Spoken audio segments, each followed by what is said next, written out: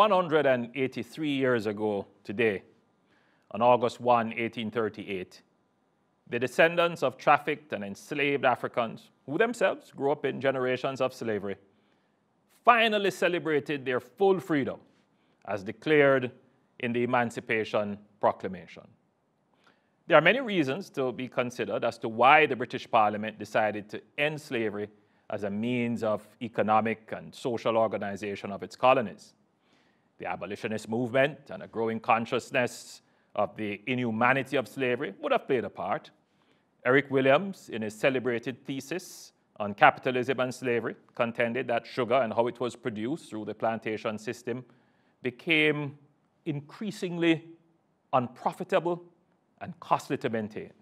However, we must never overlook or underplay the role that our forebears played in resisting and rebelling against slavery. Though the system of chattel slavery was total in its control and dehumanization, it could not completely eliminate our dignity and the spirit of resistance to oppression. Our forebears were not passive and obsequious onlookers, waiting for freedom to be handed to them. No, they actively rejected the idea of enslavement and fought it physically, often making the ultimate sacrifice, paying with their lives, as did Sam Sharpe and many other nameless fighters.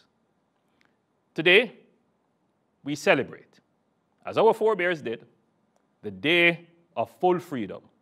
We give thanks for their sacrifice and we reflect on the dehumanizing system that sought to treat another human being as property, to deny them of any rights, even over their own body and reproductive decisions, and to control them by inflicting mental and physical pain through lashing and other forms of punishment which violated their physical and spiritual being.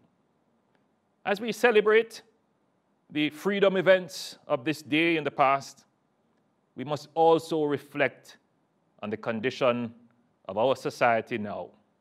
The use of violence has followed us from our history. Presently, there is a belief widely held in our society that the physical being of another person is not inviolable. There is little acknowledgement of the entitlement to personal space. For many, Uninvited touching and hitting is accepted as normal in our society. The correction to a child for hitting another is not to explain to the child that hitting is wrong. Oftentimes, what we see is the offended child being encouraged to hit back. We see parents who believe children have no rights and must be lashed in order to be brought under control. And we see family members who believe that the only way to resolve disputes over ownership and property is by fighting, oftentimes to the death. And we see intimate partners viewing each other as property with rights to control, even by force. And we see it in the gang and don culture employing violence to control and subjugate entire communities. What would our forebears think of us?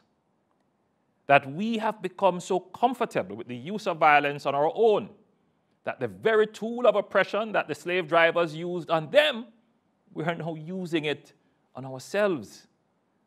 They would be baffled and shocked because freedom for them would have meant freedom from violence or the threat of violence.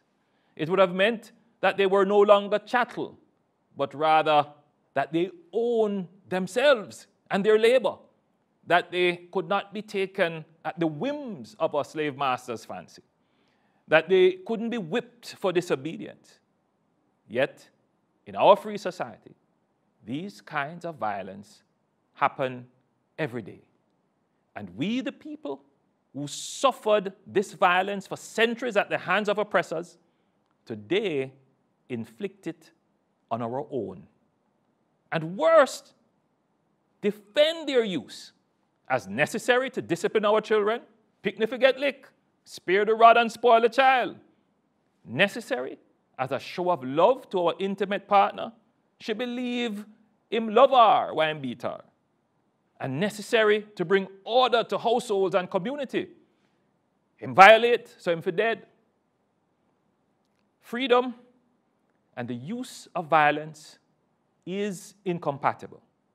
There is no freedom where violence exists. I invite all Jamaicans to reflect on this. We must all make a concerted effort to reject violence in our daily lives. Your government is seized of this disease of violence plaguing our people. It is of epidemic proportions and it has infected all facets of our society. The first step in combating this disease is to get the average person to accept that violence in all its forms, whether intimate partner, domestic, corporal punishment, gang violence, or security force violence, all violence is wrong. We have started to combat this disease through legislation with the sexual harassment law and the domestic violence bill, which is being reviewed. We're conducting a thorough study and review of the problem of violence in order to inform a comprehensive reform of government's policy framework and response. As your Prime Minister, I'm very concerned by the frequency and increasing brutality of acts of violence being reported. We have been spiraling along this path for some time without instrumental and direct government intervention. And I know that I am not alone in the observation that our society is becoming increasingly callous, brutal, and numb to violence. Nevertheless, I'm positive that we can transform our country into a kinder, gentler, and more caring society. At the heart of every Jamaican is a desire for justice, brotherhood, and peace. This emancipation, let us all reflect on our own lives and see how we have used any form of violence and how we can replace a harsh word with an endearment, a quarrel with reason, and a clenched fist with an elbow bump. Let us all commit to protecting our freedom from violence and honor the struggles of our forebears by not inflicting on ourselves the violence the slave drivers inflicted on them. The chains are gone, but our mentality enslaves us.